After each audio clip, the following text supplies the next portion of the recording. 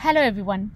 Welcome to the third tutorial of the Genomics to Proteins or G2P portal, which is a discovery tool to link genetic screening outputs to protein sequence and structure.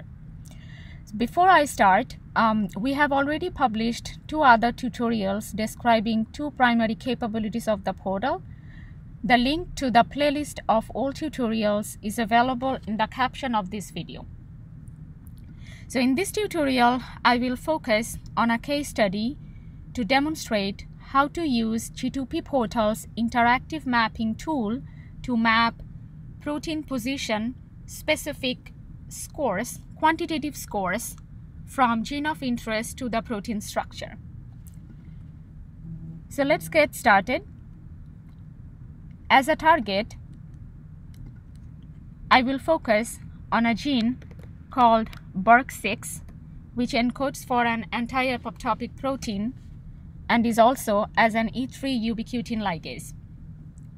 So let's hit load to load the protein sequence and then next. So you will see that there is a crystal structure available for this protein. So I will select this structure and we'll hit load. Scroll down and you will see that the structure has been loaded. So let's go up and now I will navigate to this score tab where I will find this input form to upload the score. Now the score can be uploaded in this format which is just the protein residue positions comma score or it can be also tab separated. As a quantitative score I will get a popular genetic constraint score called missense tolerance ratio or MTR. So I'll search for BIRC6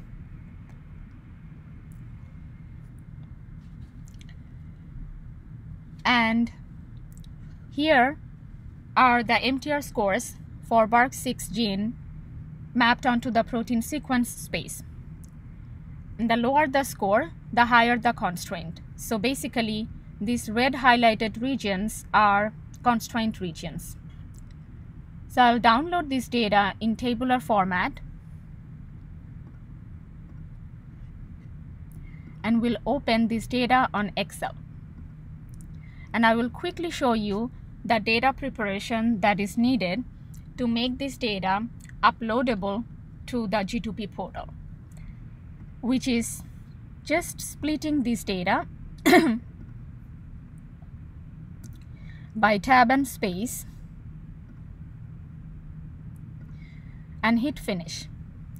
So the two columns that we need are basically the protein position and MTR score values. Now I will copy this data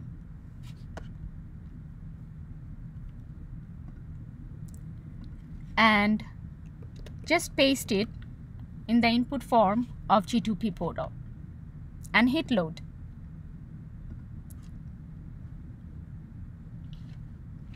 So now you will see that the data have been mapped onto the protein sequence space.